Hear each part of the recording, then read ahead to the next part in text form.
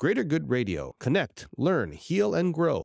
When I got arrested, it hit the news. I was famous enough that it hit all the print news. And like 10 days later, I find out the Osaka guy who was running Osaka, he was a Yakuza. He went and called all the other gyms and said, let's disassociate with Enson because he's now a bad name. And you know, in Japan, once you get arrested and you get a bad name, you're pretty much stigmatized as a bad person for at least seven years. And I guess this guy that was running the Osaka gym, he felt that, oh, I'm, I'm pretty much have a bad name. So he wanted to disassociate. And that's the kind of times when people should show you loyalty. When you're down and out, that's when the good friends will stand by you.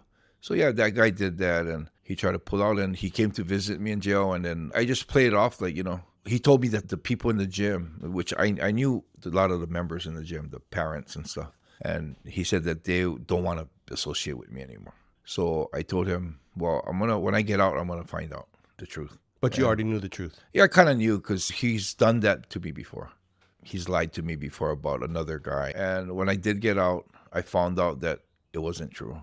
And the only reason why he did that was because I was close to K1 and he wanted to have his fighters fighting K1. And when I had got arrested, he knew K1 would pull away from me and I would lose that connection. So he still wanted to continue that connection by showing K1 that we're no longer with Enson. And when I got out, I was uh, not very happy he hid and hid and ran. And you know, every time people do that to me, I have this knack of running into him. And so Oh, one just day, by chance, kind. just by chance. So you know, one day one of my good friends from Hawaii come came up, and we went to Osaka to go out party and stuff. We were walking out all happy with some numbers and walking out, and my friend Darren turns on, looks at me like, "Oh, Enson." I'm like, "What?" He he's like he looked had a whole different change. Like, "Wow, the mood's gone."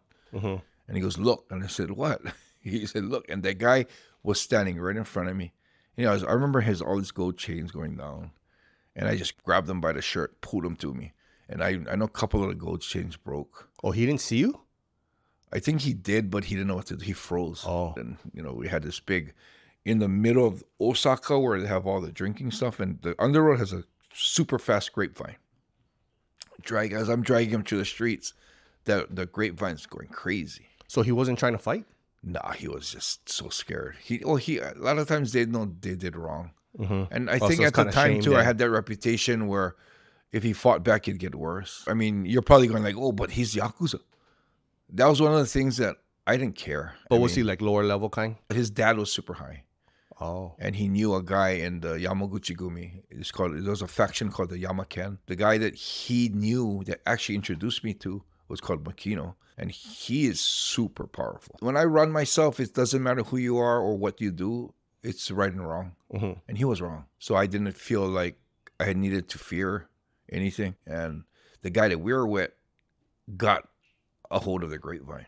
Mhm. And so we were we started moving to different VIP rooms in the hostess clubs. Oh. And then so we didn't stay too long because the grapevine would tell them where they are. We moved to another one. And then, you know, of course, for me, it was about either Like negotiating to apologize or something. no negotiating to get a repercussion from him, make him serve the repercussions of what he did. And of course, one of the possibilities is a financial payment, Uh huh. Which would be always be nice. And you can't demand the financial payment Yeah, yeah, because yeah. then you're extorting Yakuza. Yeah, yeah. And the families wouldn't be too happy about it. Mhm.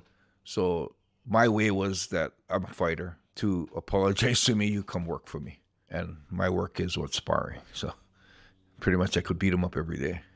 and they don't want to do that. And we finally got it to a point where I, I told him to cancel all his appointments for the next month because he's coming home with me and he's going to be a sparring partner. So I was planning to bring him back and beat him up every day. Mhm. And he knew what was happening. And he, I think his first offer was $3,000. And so I pretty much laughed at that. So I told him he had three choices. He had one choice, he could work for me for a month. The second choice was he could leave something real important on the table. And he's just looking at his Rolex. And I said, no, I t- I told him like the tip of your nose or earlobe. I mean, something. Oh, really like how they really do them, like when they chop the finger yeah, kind. Yeah. And of course, he doesn't want to do that. And his third option was I told him that there's three people that I hate. You kill one of them for me. And he's such a pussy. He would not do that. And I knew that. That's why I threw that out. And he goes, okay, who? You're such a fucking liar, man. You know, so I, I called him out on that. He, of course, he was lying. And when he realized how serious it was, he came out with a bigger figure. So the, the figure he finally came out was thirty thousand. You know, sometimes when these guys can get thirty thousand dollars wrapped in banknotes in the middle of the night, he got thirty thousand dollars in twenty minutes, and that was done. If you resonate with Greater Good Radio, please join our community at www.greatergoodradio.com, where you can get access to exclusive content and offerings. Hope to see you soon.